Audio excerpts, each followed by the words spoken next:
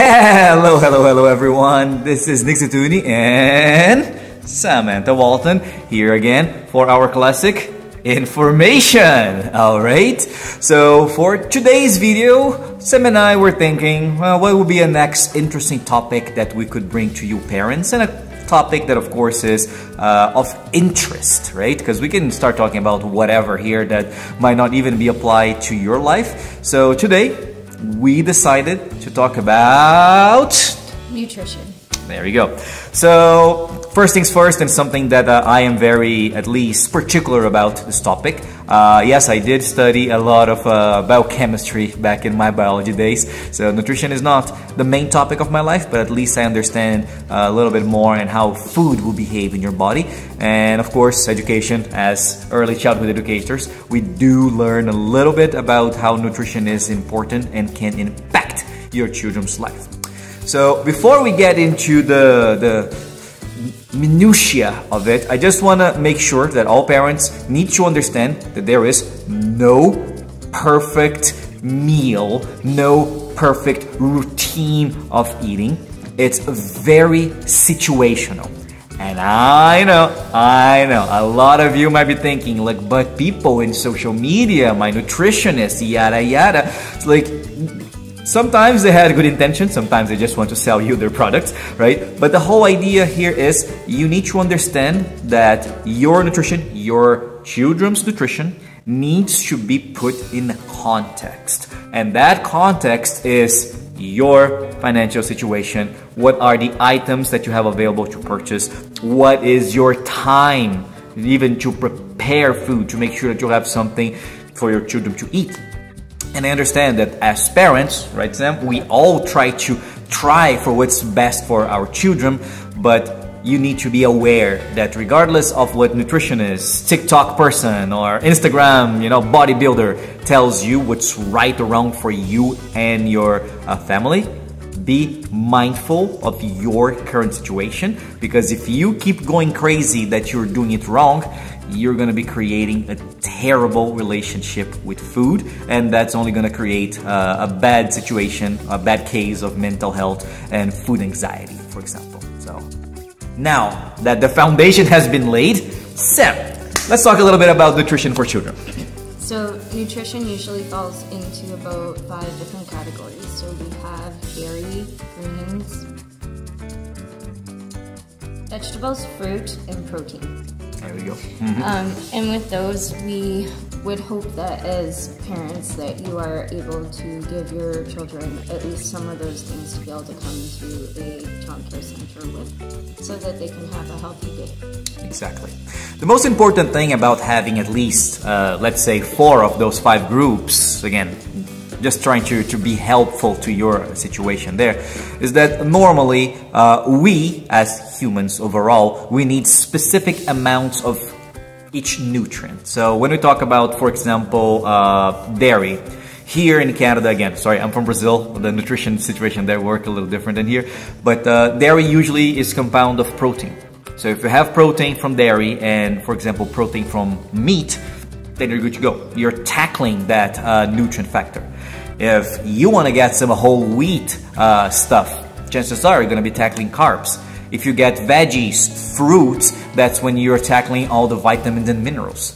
So having a dish, a snack that has at least, uh, let's, let's try to be a little more flexible here, three out of four, three out of five, depending how you see those nutrients, it's, it's a great start. All right. Now, my question here, Sam, as a follow-up to that, why do children need to have those groups of foods in their diet? What they're doing to, to their good being? It's good for their it's good for their development. It's good for their physical development. It's good for their brains, and it just overall makes them a little bit more healthier. And when children eat, they are a little bit more easier to guide um, and teach because then they're not worried about being hungry. They're not focused on you know other things. They are being able to play with their friends. They're able to sit with us and learn. So it is important that children get the right food in their body in order to sustain and There we go.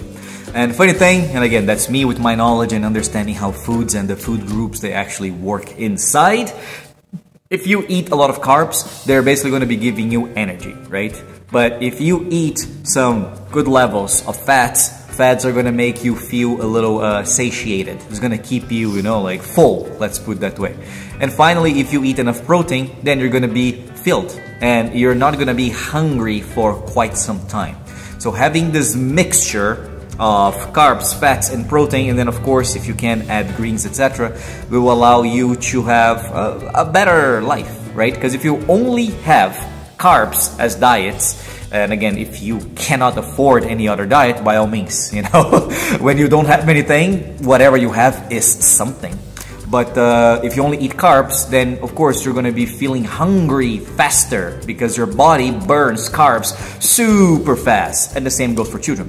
Then you need to snack more often. Of course, you're gonna be going into that delicious kind of snack that we all know that sometimes can be high calorie, right? So having that balance allows children, and of course adults for that matter, to keep in a, having a good relationship with food right? So now, Sam, when it comes to an example, if you're gonna tell parents like, oh yeah, no, if you're ever gonna bring your children here to Next Gen, this is the type, an example of meal that we would expect uh, in terms of uh, nutrition rich.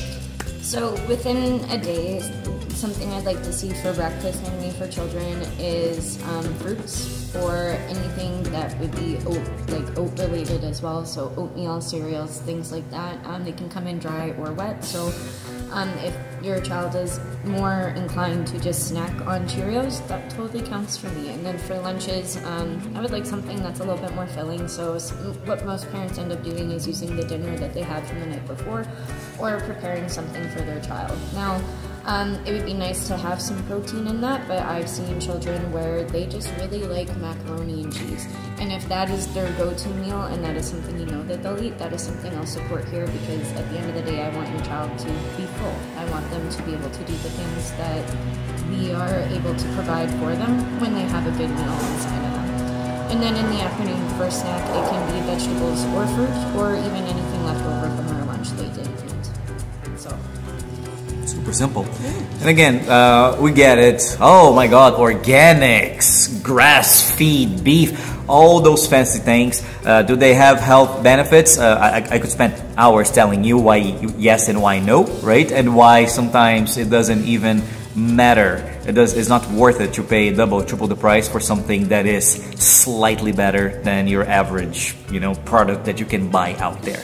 So the important part here, just so your child and you can have a healthy relationship with food, and you guys can of course eat when needed, is just so you, as Sam mentioned, just make sure that you're giving the nutrition uh, groups, protein, carbs, fat, uh, and vitamins and minerals, right? In nice doses. So uh, the Canada Guide for uh, Food Guide brings the idea of, and I might be wrong on that, but two portions of uh, leaves, drinks, one portion of grains or whole wheat, and one portion of uh, preferably lean protein. And I'll leave the link for the food guide uh, in the video description so you guys can double check and prove me wrong if needed, right? Because I want to give you guys right information. Now, important part about nutrition here, Sam, children can be picky eaters right? So let's say that a parent out there is experiencing that classic situation where a child only wants to eat mac and cheese or chicken fingers. What would be a good uh, technique that parents could use to at least diversify the child's uh, diet? Um, I mean, that one's a hard one so it always depends on how your child will react anyway. But for the most part, what I've always been told um, is that your child will eat when they are hungry. So they will phase in and out of wanting certain foods. So it could be macaroni and cheese, chicken fingers, french fries, pizza, um, popcorn. um, those things happen where children get a very good liking for what they want to eat. Now, for the most part, it is okay for them to eat those foods and it is okay to eat them in a little bit of an abundance, but having choices is a very important thing. Um, my daughter did not want to try kiwi um, which was funny to me because kiwi's delicious, but I ended up telling her that it was a green strawberry, and that was the thing that made her try it, and now she really, really likes kiwis. So, as a parent and as a caregiver, you have to be slightly inventive on how you're going to get your child to change their taste buds to like a little bit more stuff.